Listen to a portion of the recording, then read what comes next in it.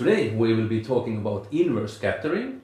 I'm visiting Rutgers University and Professor Fioralba Cakoni. What is scattering? It's scattering of waves. It describes how waves interact with various objects. And how about the inverse?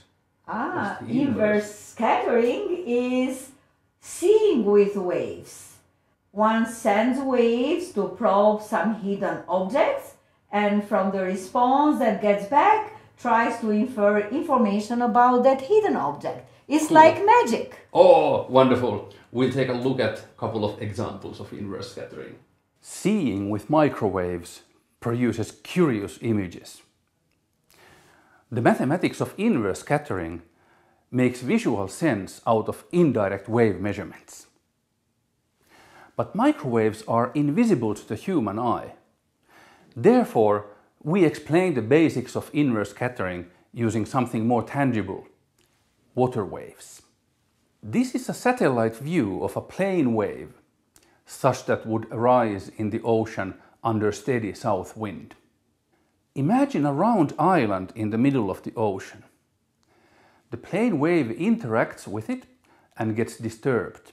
Since we know the exact shape of the plane wave, we can subtract it to see only the scattered wave. In the case of east wind, there is a similar but differently oriented disturbance, and we can again extract the scattered wave. Summing up all the scattered waves for different wind directions is called a J0 probing. The result is a J0 scattered wave, which is a mathematical construction not occurring in the real world. For an off center island, the J0 scattered wave is non symmetric. Let's take our first look at inverse scattering. Here are two islands imaged under cloudy conditions.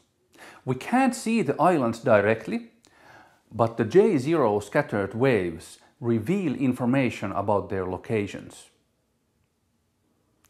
Inverse scattering can also offer information about the size of the island. For example, we can deduce the radius of the round island located at the center. Let's see how that works.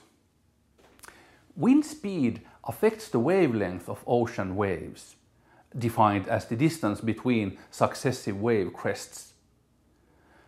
For example, with a modest uh, 8 meters per second wind, the wavelength of ocean waves is 20 meters. With a stronger 18 meters per second wind, the wavelength is 100 meters. Let's use waves for probing a hidden round island uh, located at the center to find its radius.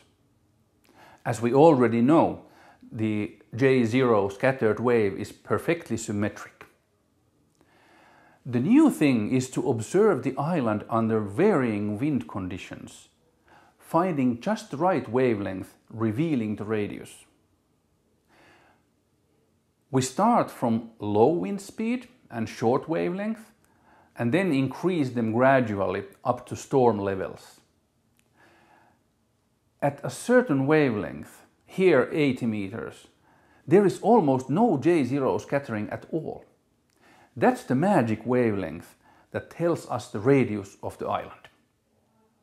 Mathematical theory of scattering gives us this formula, where z is the location of a zero value of the Bessel function j1.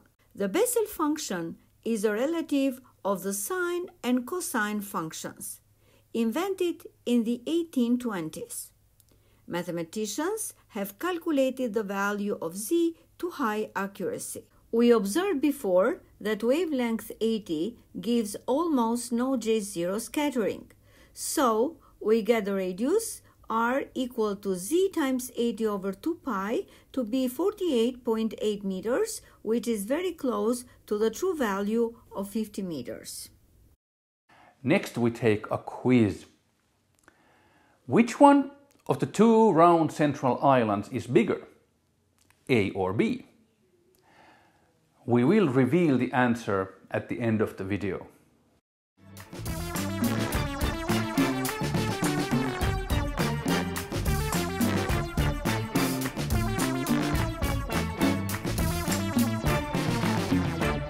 So inverse scattering tells us the location and size of a single round island. But how about two islands? What is their response to probing them with plane waves? Is the scattered wave from two islands just simply the sum of the scattered waves from each individual island? The answer is no.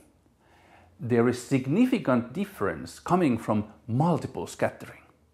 This nonlinearity is what makes inverse scattering such an interesting and challenging topic to study. Here you see the scattered wave of the west side island alone, and here the same for the east side island. This is the sum of those two single island scattered waves. It is a mathematical construction only, not a true wave. The scattered wave created by the two islands looks actually like this.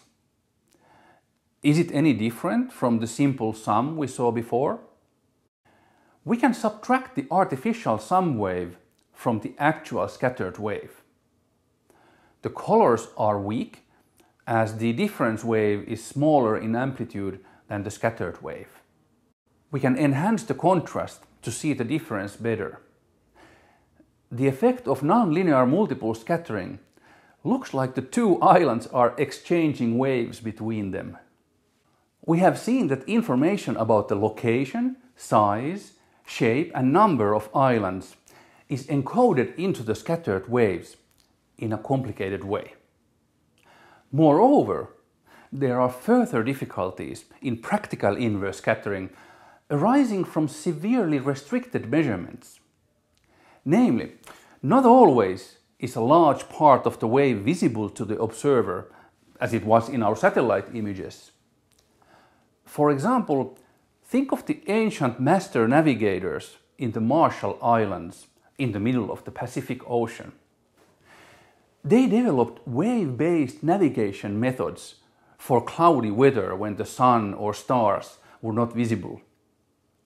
They used stick diagrams like the ones you see here for understanding the scattered waves from islands resulting from plane waves driven by steady trade winds in the Pacific Ocean. The navigators lied down on the bottom of the canoe and felt the rocking of the waves. They found the right way by comparing their feelings to the stick diagrams they had memorized. Let's examine this inverse scattering problem in the form of another quiz. And this one will be truly difficult. Here is the starting point of an imaginary boat trip in the Marshall Islands. And the goal of our virtual seafarers is this group of islands. A steady northeast trade wind creates an incoming plane wave that gets scattered by the islands. The boat here is slightly north of the route and should turn right, or nautically speaking, starboard. On the other hand, this boat has traveled too far south and needs to turn left or to the port side to reach the goal. The navigators are supposed to find the right way by just feeling the waveform. Can you tell which boat is which by just looking at the wave pattern? I know I cannot, at least not without a proper stick diagram. Inverse scattering techniques are also used in other types of waves than water waves. Radar uses radio waves to monitor air traffic around airports and to predict the movement and type of rain clouds. The structures of DNA and hemoglobin molecules were revealed using inverse scattering of X-rays in Nobel Prize winning studies. In the animal kingdom, dolphins and bats find their way by the backscattering of sound waves. Thanks for watching! Thank you! And we'll be back with another video with more advanced stuff on inverse scattering. Yes, looking forward to it.